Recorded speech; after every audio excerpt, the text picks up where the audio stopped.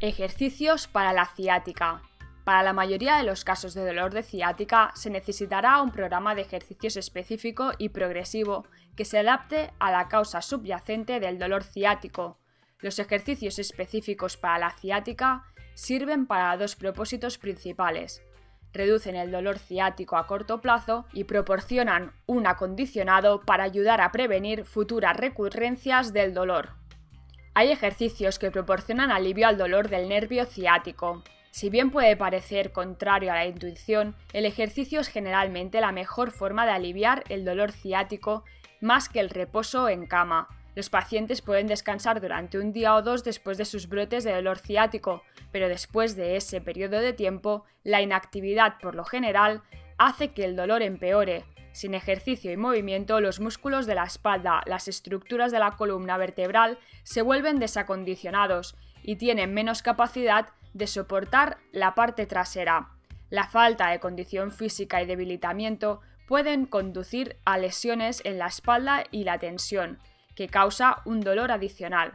Además, el ejercicio activo también es importante para la salud de los discos de la columna, el movimiento ayuda a intercambiar nutrientes y fluidos dentro de los discos para mantenerlos sanos y prevenir la presión sobre el nervio ciático.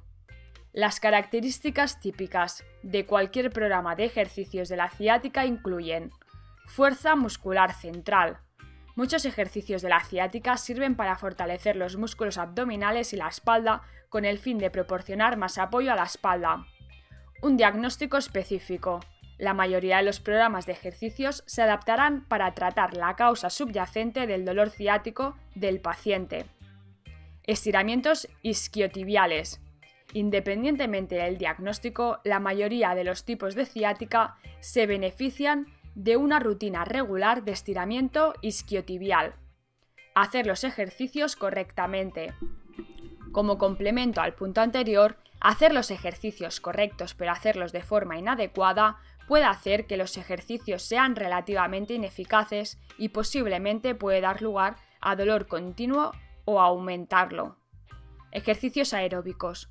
Además de los ejercicios específicos para la ciática, el acondicionamiento aeróbico también puede fomentarse para la aptitud general del cuerpo. Caminar es una excelente forma de ejercicio para la espalda baja, ya que tiene relativamente un bajo impacto, pero puede proporcionar todos los beneficios de una sesión de ejercicios aeróbicos.